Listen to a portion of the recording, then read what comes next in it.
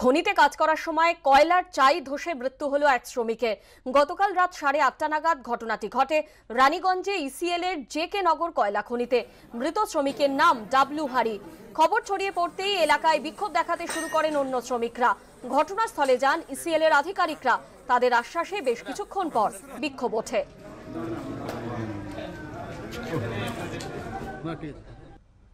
রাজ্যপালের বিরুদ্ধে মামলা খারিজ, হাইকোর্টে মামলা খারিজ করল প্রধান বিচারপতি ডিভিশন বেঞ্চ।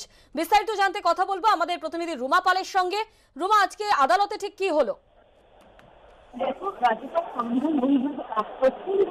সরকারের সমালোচনা করছেন মামলা হয়েছিল রুমা, তোমার কথা আমরা পরিষ্কার শুনতে পাচ্ছি না। তুমি আমাদের সঙ্গে থাকো, আপনাদের যেমনটা জানাচ্ছিলাম। রাজ্যপালের বিরুদ্ধে মামলা খারিজ, হাইকোর্টে মামলা খারিজ করল প্রধান বিচারপতি ডিভিশন বেঞ্চ।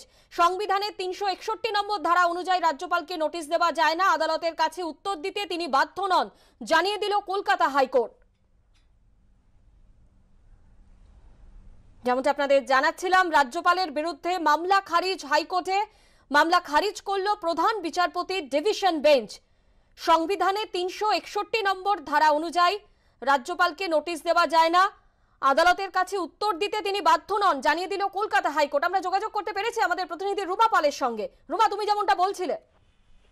দেখো, সংবিধান বহির্ভূত কাজ করছেন রাজ্যপাল এবং বারবার সরকারের সমালোচনা করছেন বলে মামলা করা আদালতে। সেই মামলা খারিজ করে দিল প্রধান বিচারপতি এবং কোর্ট বলেছে যে রাজ্যপালকে সংবিধানের তিনশো একষট্টি ধারা অনুযায়ী নোটিশ দেওয়া যায় না এবং কোর্টের কাছে উত্তর দিতে তিনি বাধ্য রুমা তোমার কথা এখনও স্পষ্ট নয়। তুমি যদি একটু ফাঁকা জায়গায় এসে বলো। রুমা তুমি শুনতে পাচ্ছ? যান্ত্রিক কারণে আমাদের সঙ্গে আমাদের প্রতিনিধি যোগাযোগ বিচ্ছিন্ন হয়ে গেছে। আপনাদেরকে জানিয়ে রাখি রাজ্যপালের বিরুদ্ধে মামলা খারিজ হাইকোর্টে মামলা খারিজ করল প্রধান বিচারপতি ডিভিশন বেঞ্চ। সংবিধানে তিনশো একষট্টি নম্বর ধারা অনুযায়ী রাজ্যপালকে নোটিশ দেওয়া যায় না। আদালতের কাছে উত্তর দিতে তিনি বাধ্য নন জানিয়ে দিল কলকাতা হাইকোর্ট। আসছি পরের খবরে বিভিন্ন গুরুত্বপূর্ণ বিষয়ে আলোচনা প্রয়োজন, তাই আগামী সপ্তাহে সুবিধা মতো যে কোনো সময় রাজভবনে আসুন। সংঘাতের আবহে মুখ্যমন্ত্রীকে চিঠি দিয়ে রাজভবনে আসার অনুরোধ জানালেন রাজ্যপাল। কিন্তু সেই চিঠি টুইটারে পোস্ট করায় শুরু হয়েছে বিতর্ক, ফের শুরু হয়েছে রাজনৈতিক চাপানোতর রাজ্যপালে পদের অপব্যবহারের অভিযোগে বাংলা সহ অবিজেপি মুখ্যমন্ত্রীদের একজোট হওয়ার প্রস্তাবে তোলপাড় জাতীয় রাজনীতি। এই আবহেই বিভিন্ন ইস্যুতে আলোচনা চেয়ে মুখ্যমন্ত্রী মমতা বন্দ্যোপাধ্যায়কে চিঠি দিয়ে রাজভবনে আসার অনুরোধ জানালেন রাজ্যপাল জগদীপ ধনখড়।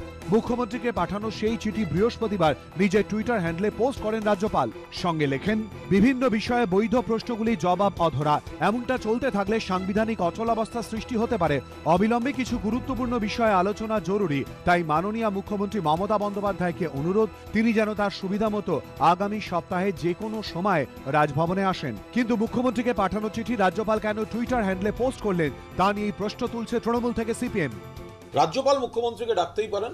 টুইটের মাধ্যমে তিনি কোনো দলীয় রাজনীতি করতে নামেন। সেক্ষেত্রে তার কথা বলার প্রয়োজনীয়তা, প্রকৃত প্রয়োজনীয়তাটা ঢাকা পড়ে যায়।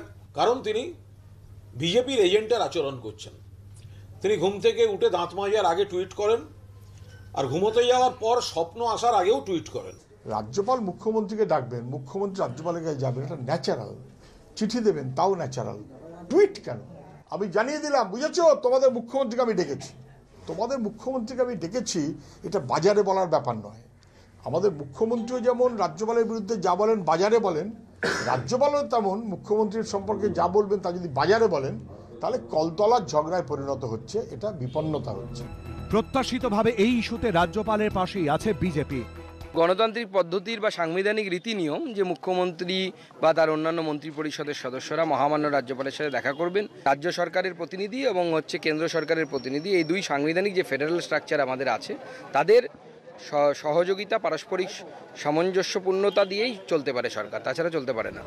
রাজ্যপাল হিসেবে জগদীপ ধনখড় দায়িত্ব নেওয়ার পর থেকেই বিভিন্ন ইস্যুতে রাজ্য সরকার, রাজভবন সংঘাতের মহাভারত তৈরি হয়েছে। পরিস্থিতি এই পর্যায়ে পৌঁছেছে যে, সম্প্রতি টুইটারে রাজ্যপালকে ব্লক করে দেন মুখ্যমন্ত্রী। জগদীপ ধনখড়ের অপসারণের জন্য রাষ্ট্রপতি ও প্রধানমন্ত্রীকে অনুরোধও জানিয়েছে তৃণমূল। এই আবহেই মুখ্যমন্ত্রীকে আলোচনায় আহ্বান জানিয়ে চিঠি দিলেন রাজ্যপাল। যথারীতি তা নিয়েও বাঁধল বিতর্ক। কৃষ্ণেন্দু অধিকারী ও সমীরণ পাল এবিপি আনন্দ।